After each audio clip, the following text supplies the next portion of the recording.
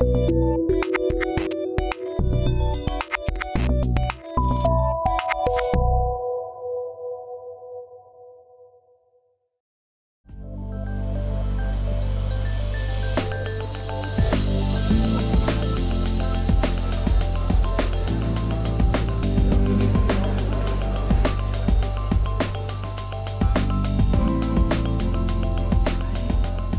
Diejenigen, die Wohnungen haben im großen Stil und auch die Immobilienleute, diejenigen, die hier vor Ort sind und investieren, die muss man mit an den Tisch kriegen und ihnen klar machen, gesellschaftliche Auseinandersetzungen sind Kosten sozusagen alle.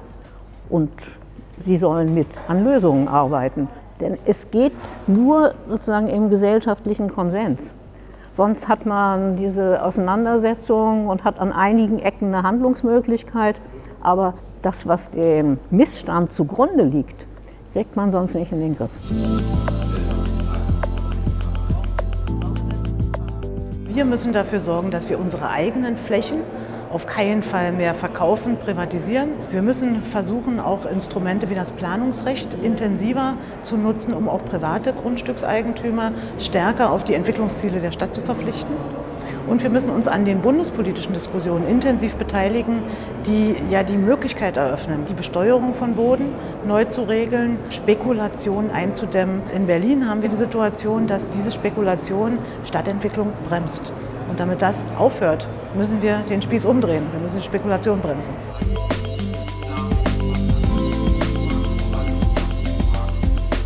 Wir brauchen eine Bodenwertsteuer, eine Steuer, die den Bodenwert und Knappheit des Bodens in den Fokus nimmt und die sozusagen darüber Flächen mobilisieren hilft.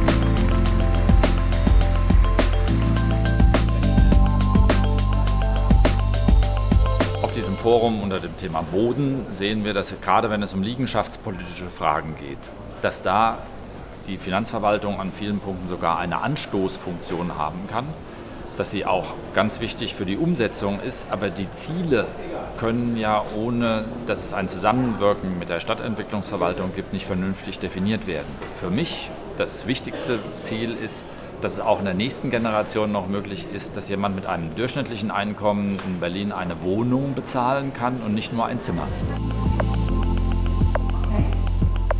Den Erwartungshorizont der Spekulanten, der muss unbedingt enttäuscht werden. Für wen wird überhaupt noch hier gebaut in mhm. Berlin? Und ich möchte einfach noch mal daran erinnern, dass wir nicht zwei oder drei Erden haben.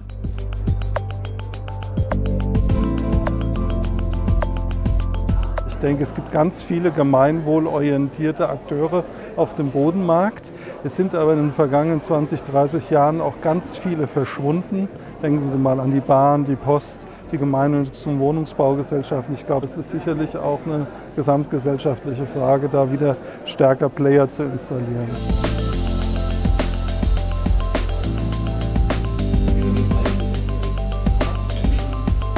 Wir glauben, dass Zivilgesellschaft einfach ein, ein lebendigeres Stück Stadt schaffen kann. Was wir auch brauchen, ist eine Stadt, in der was geschieht, in der sich Bürger engagieren.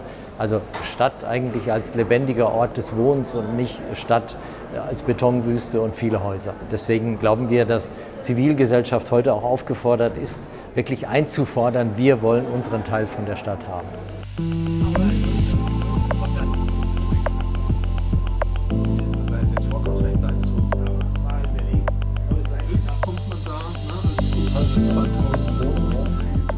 Wenigen Immobilien, die wir jetzt tatsächlich noch im Landeseigentum haben, die betrachten wir jetzt sehr genau und überlegen uns auch sehr genau, wie wir sie nachnutzen wollen. Das ist aus meiner Sicht wirklich der wichtigste Punkt, wo eine Änderung stattgefunden hat, die wirklich für die Stadt unerlässlich ist.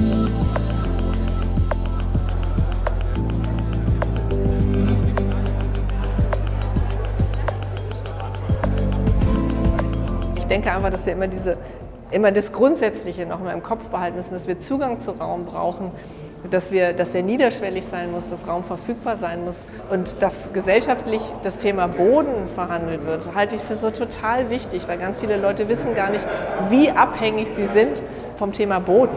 Und deswegen mache ich mich da total stark, dass es auch eine gesellschaftliche Debatte wird.